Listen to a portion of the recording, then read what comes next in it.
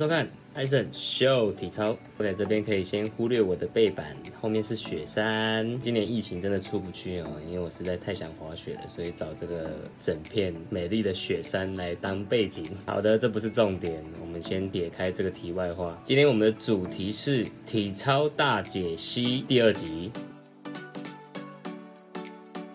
前面我有讲过，我们体操有六个项目，那现在地板鞍马已经讲完了，接下来我们要讲的是吊环及跳马。那现在就进入我们的解说时间，第三项吊环。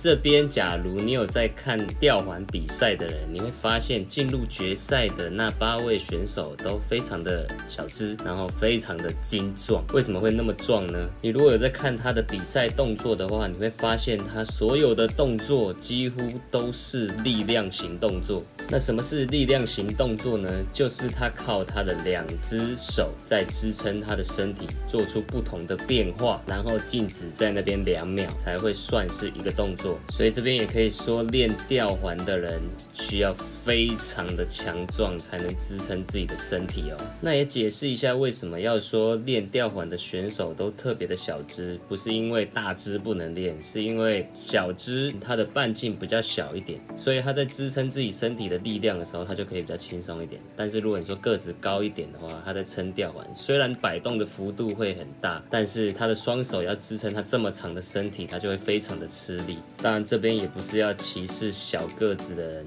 或是高个子的人，因为高个子的人不一定吊环就很差，像我就很差。我们这边一样要讲解吊环有四个类群的动作。吊环的第一类型是曲线上和摆动动作，或者是有摆动动作经过倒立的位置，都是属于第一类型的动作。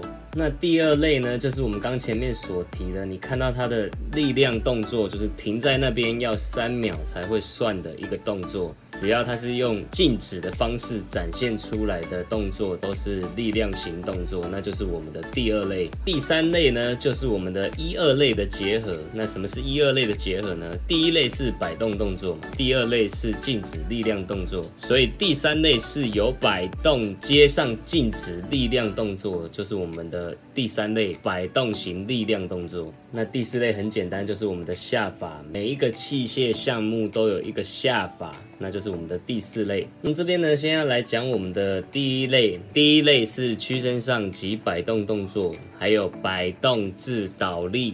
这也算是第一类型的动作。那现在其实很多人都是做摆动至倒立这个动作，尤其是成年的人，他几乎不太会去做屈身上这个动作了。因为屈身上这个动作，你要去做后续的变化比较少一点。那有可能就是动作比较少的人，或者是他类群不够，才会去编这个动作。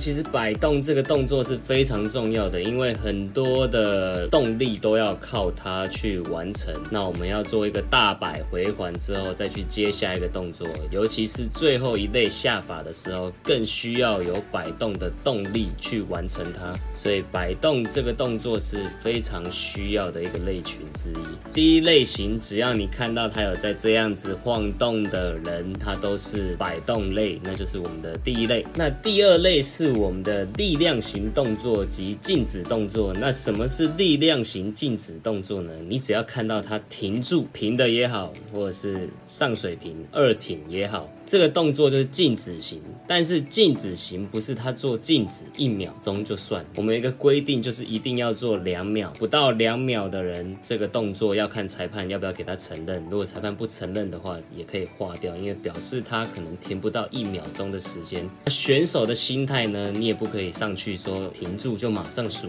一二，那这有可能就是会达不到秒数。通常你在做的人要由裁判的角度去判定你的秒数够不够，所以你上。去的时候最好数到三，裁判基本上就不会扣你没有停到这个秒数的分数。所以你可以看到最简单的一个 L 型支撑停在那边两秒钟，裁判也是会算给他是一个静止型的力量动作。那这就是我们的第二类。那第三类呢，就是我们的摆动型力量动作。什么是摆动型力量动作？就是刚前面有讲的一二类的结合。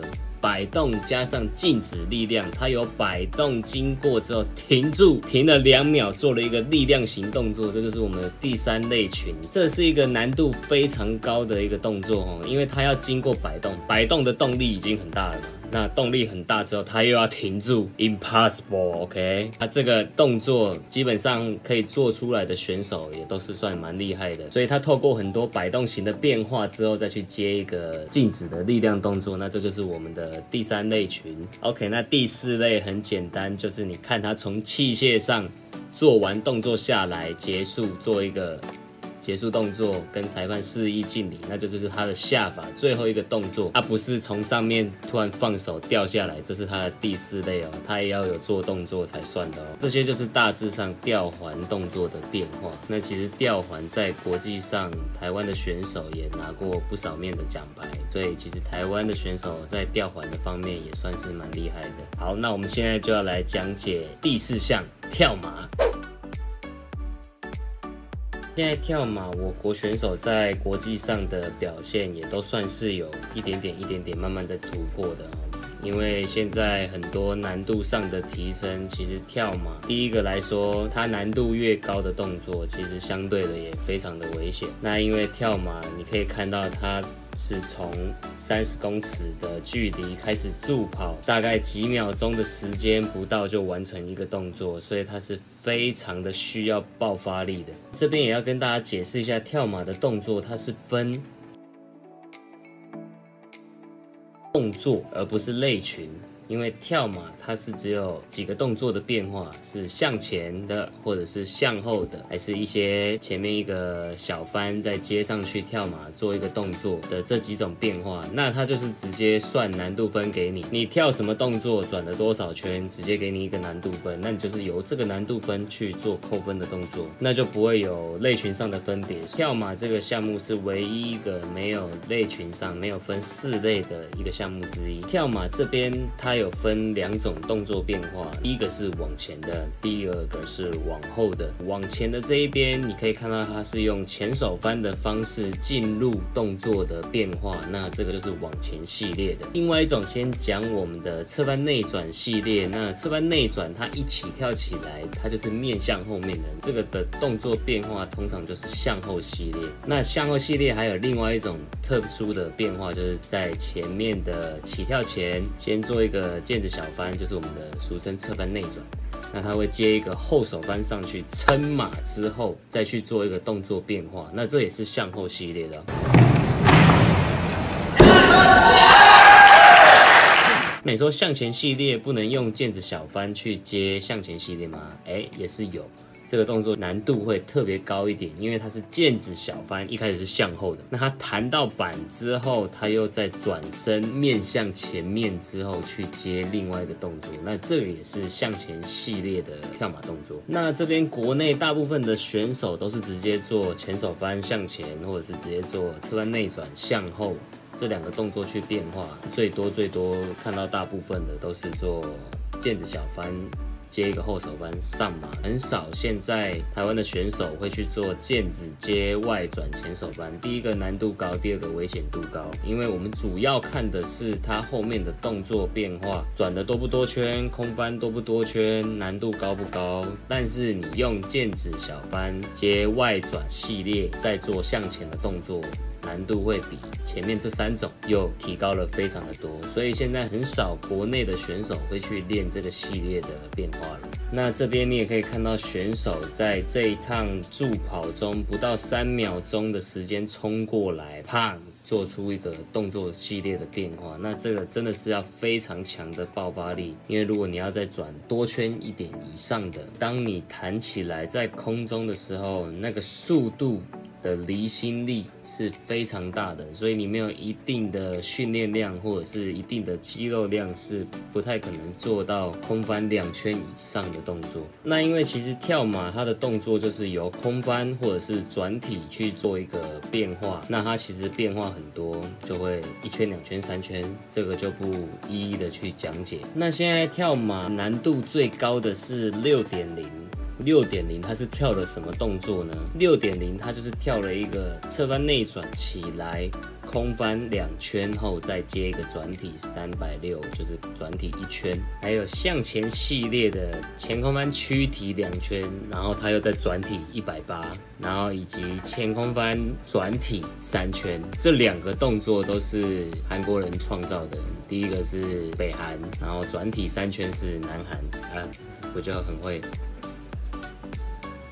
那现在世界上可以跳到这个难度的人，其实还是没有很多，所以基本上你可以跳到这个难度的人，你都可以拿到世界奖牌，甚至是奥运奖牌都有机会去争取的。那我们这边可以看到，跳马决赛的选手他都要跳两跳不一样的动作，他才可以进入决赛。如果你在预赛的时候只跳一跳，那就没有办法进入到跳马的决赛。那为什么有些人他选择只跳一跳，或者是他要跳两跳？第一跳他会是。团体决赛的第一个分数，那你要拼跳马决赛的人就要跳第二跳，才会是你跳马决赛的预赛分数。所以这两个它会分开来，第一跳是团体决赛的。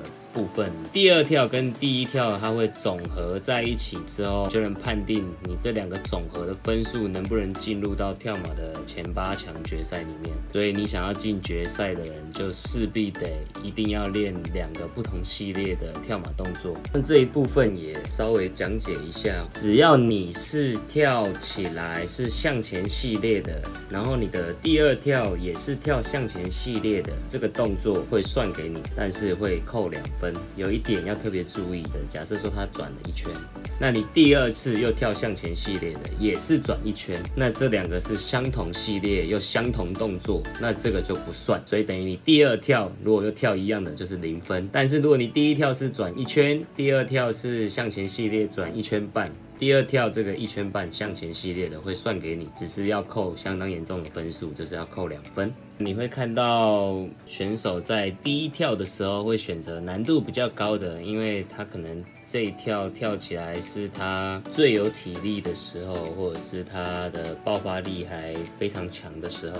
那通常第一跳会放难度高的动作，就通常他是要拼奖牌的时候了。所以你可以看到，其实跳马他在决胜负的时候很快啊，短短的几秒钟落地，你有没有成功站好？你的难度高不高，就决定你这一次的胜负了。那其实不管是国际上的跳马决赛也好，或者是我们国内的，它除了呃，动作系列以外，还有一点是非常关键，在于胜负的时候，就是它的落地。因为假设说今天八个选手，这八个选手的两个动作系列都跳一样的时候，那除了第一个美感嘛，那第二个就是看它的落地。你今天如果在动力这么大，或者是整个高度或者是速度都特别快的时候，落地你还站得稳稳的都没有动的话，那这个基本上就是。稳稳的冠军了，因为大家今天都跳一样，那就是比这一下。我们大致上的吊环及跳马这两个项目就讲解到这边了。那还有最后的两项双杠及单杠将是我们的最后一集。如果你真的对体操非常有兴趣的，你可以选择看下去。那如果没有兴趣的人，就不要看，这算是一个比较认真版的详细解说哈。今天影片就到这里喽。如果你喜欢我的影片的话，记得帮我按赞、订阅、分享。我是艾森，我们下次见，拜拜。